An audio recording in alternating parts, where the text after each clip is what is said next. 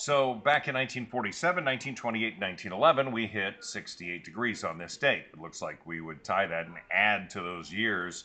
Um, a little warmer, we break the record, we own it. A little less, we don't make the record, and we stop talking about it. So, it's going to be sunny and warm today, is what I'm saying. 41 for the overnight low, going to be mostly clear. Nice night. Tomorrow morning is going to be cool, but not cold.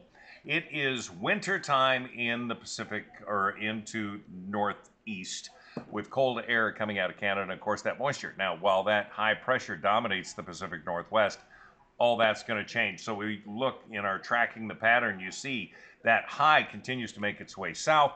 That's going to be the trend. Then we're going to see that colder, more unsettled air coming out of Canada and then pulling in some of the moisture off the Pacific, dropping it right over the top of us.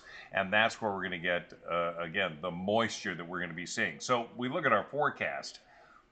Today, great. Tonight, beautiful. Tomorrow, not bad. Maybe some increased cloud cover, but definitely cooler. Then we start to see that moisture coming in off the Pacific.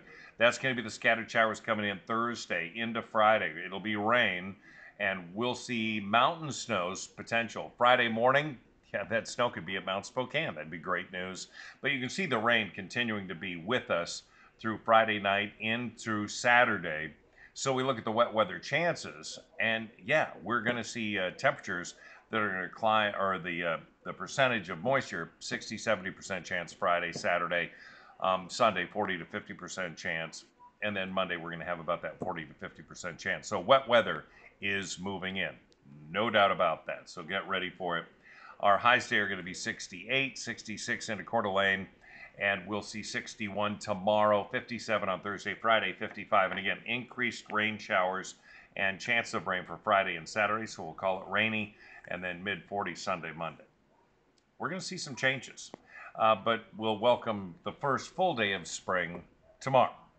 I'm Mark Peterson. The First Alert Weather app is free and available in the App Store, and it still has a perfectly good use.